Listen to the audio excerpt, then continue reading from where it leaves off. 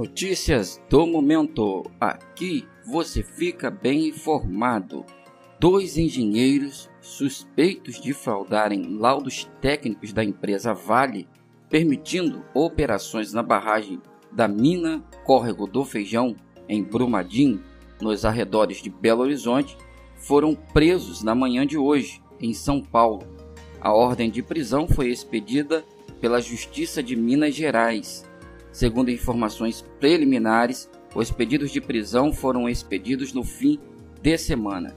Os homens foram presos em casa. Há desdobramentos da operação também em Minas Gerais, porém, ainda não foram detalhadas as ações nem os locais.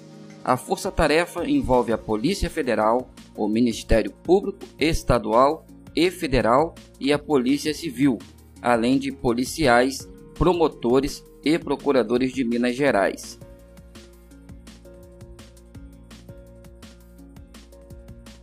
O governador do Rio de Janeiro, Wilson Witzel, disse que, se tivesse sido consultado, vetaria o projeto que determina o fim da vistoria veicular pelo Departamento de Trânsito do Estado, o DETRAN, e estabelece uma autodeclaração de vistoria.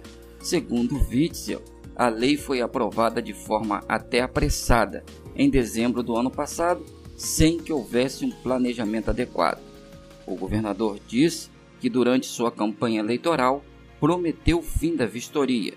A matéria seria disciplinada no início de sua gestão e, em conjunto com o presidente do Detran, seria definido um cronograma para a medida de modo a não criar na população uma situação de dúvida sobre o que fazer. Witzel também considerou equivocada a decisão da Justiça de suspender a cobrança da taxa de licenciamento do veículo e de outra taxa prevista no Código de Trânsito, que, segundo ele, não tem nada a ver com a vistoria.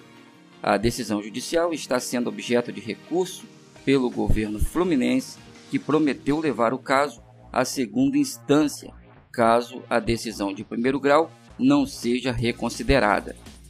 O governador recomendou à população que efetue o pagamento da taxa de licenciamento de R$ 202,55, apesar de dizer que a confusão foi criada pelo governo anterior. O governador prometeu resolver a questão.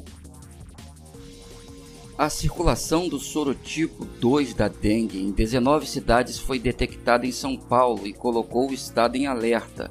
Desde 2016, apenas o sorotipo 1 da dengue circulava nos municípios paulistas.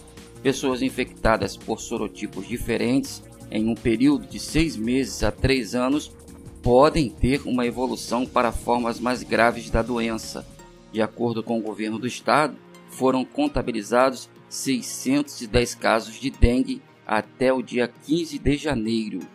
O número é similar ao verificado no ano passado e, segundo a Secretaria Estadual de Saúde, não representa um quadro preocupante.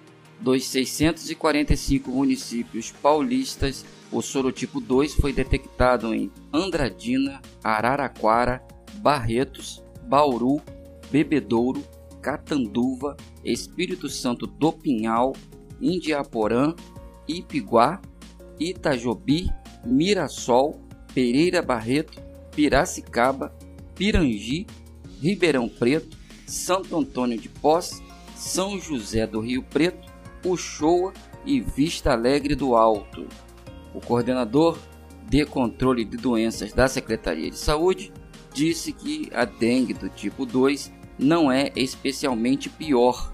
O risco está relacionado à superposição de vírus, abre aspas, estava circulando o tipo 1 até agora, e quando circula um tipo e aparece um novo sorotipo do vírus, pode ser 2, 3 ou 4, no caso é o 2, aí pode ter uma evolução para maior gravidade para quem já teve dengue 1. Fecha aspas. Explicou. O infectologista esclareceu ainda que não é mais utilizada a nomenclatura dengue hemorrágica, pois nem todos os casos graves de dengue evoluem com hemorragia. Segundo o especialista, as equipes de saúde das cidades em que a circulação do tipo 2 foi identificada estão sendo orientadas a dar uma assistência mais cuidadosa aos pacientes com suspeita da doença. De acordo com Boulos, há quatro sorotipos de dengue, sendo que três deles circulam no Brasil. Em São Paulo, neste momento, circulam os sorotipos 1 e 2. Houve uma detecção do tipo 3 agora na região de Araçatuba. A Secretaria de Estado de Saúde também está reforçando as orientações aos municípios do Vale do Ribeira para a intensificação das estratégias de vacinação contra a febre amarela. A região concentra 12 casos confirmados de febre amarela neste ano, dos quais 6 evoluíram para óbitos. O balanço é de 21 de janeiro. Os casos silvestres da doença são transmitidos pelo mosquito Aedes e Sabetes. Já no meio urbano, a transmissão se dá pelo mosquito Aedes aegypti. Não há casos de febre amarela urbana no Brasil desde 1942. A cobertura vacinal no estado contra a febre amarela é de 65% em média, com variação entre as regiões. O porta-voz da Presidência da República, Otávio do Rego Barros, disse que o presidente Jair Bolsonaro deverá ter alta médica em 10 dias. Ele confirmou que Bolsonaro ficará em descanso total por 48 horas, retornando às atividades na quarta-feira, por volta das 10 horas da manhã. Neste período, o vice-presidente, o general Hamilton Mourão, exercerá a presidência da República. Rego Barros disse que a cirurgia para a reconstrução do trânsito intestinal ocorreu com êxito e que está otimista com a recuperação. Segundo ele, acompanham o presidente os filhos Carlos, Eduardo e Renan, além da primeira-dama, Michele Bolsonaro. Após sete horas de cirurgia, o presidente foi transferido para a unidade de terapia intensiva e se encontra clinicamente estável, consciente, sem dor, recebendo medidas de suporte clínico, prevenção de infecção e de trombose venosa profunda.